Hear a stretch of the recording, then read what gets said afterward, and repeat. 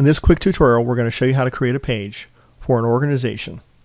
The first step is to get to create new Facebook page. To do that, you need to have a personal account. Facebook doesn't like you have an account as an organization. They would much rather see you have a personal account and then create pages and send your fans and customers to that page, not to a personal account. The easiest way is to type in create. You notice that it puts all the way up at the top, create a new Facebook page. At this point, it gives you six basic things that you can create a page for. Depending upon what is most appropriate, you need to figure out which type of page you should create. So, for example, you might want to create one based upon a company, organization, or institution. Or you might want to create one on a local business or place.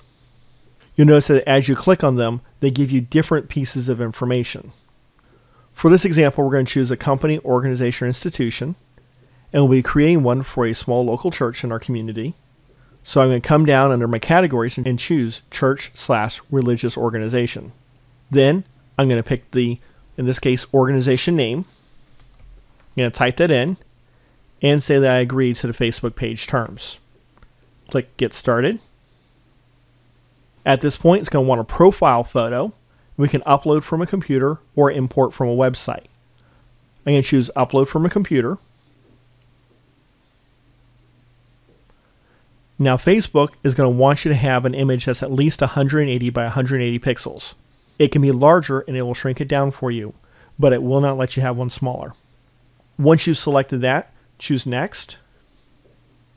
It wants some basic information, and then it can add additional things like links. So let's put some basic information. Let's add our homepage. Paste that in. We can click to add another site. We could add our Twitter account, for example. And then we want to say, will this page represent a real organization, school, or government? Yes, it does. And click Save Info. We can choose to enter in a, a Facebook specific page. This is a way that people can find us by just typing in a direct address. I'm going to say set address. Now, if you have something like this where it's not available, we just need to change what we're requesting. Usually adding a location will help. So this is for an organization known as the Upper Room. We're going to change it to the Upper Room Apopka. Say set address. And we're going to say, do we want to enable ads for this organization? We're going to skip this. Since we're not going to participate in this, we're going to click on skip. And we're basically done. Now you notice it's going to take you to a real quick uh, little tutorial, walk you through the area. We're going to say we want to make sure we like the page. We can invite people to our page using email contacts. And we can share information. Anything we share we put in here will be on a timeline Anytime we post something as administrator, this will show up on our timeline and will show up in anyone who likes us in their feed. And that's a real basic setup. We do want to make a couple quick changes. First, we want to add a cover. Now the cover is unique photo. There's a couple things we want to make sure that we don't do, and they've basically placed them here in this text. Mainly we need to avoid putting anything that's a promotion, coupon, or advertisement. We don't want to have too much text on it or infringe on anyone's copyright. Click OK. We're going to upload a photo. You can find a lot of information about how to create this type of image online. One thing that is interesting, you may notice, is that you can drag your image around to different locations. Now we have a map where we're trying to show location where it is, just to kind of help out people once it's in a position that we're comfortable in and we like, we can go ahead and click Save Changes.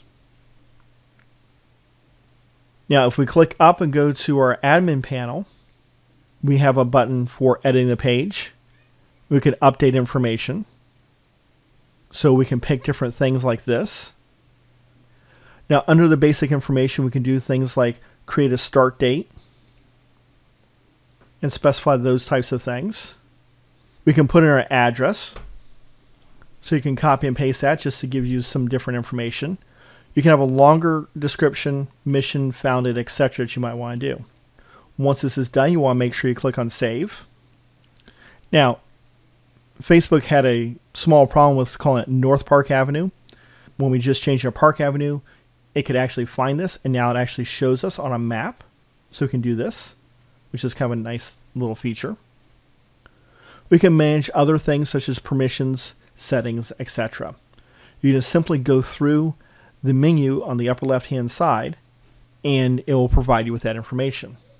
When you're done, you can click on View Page.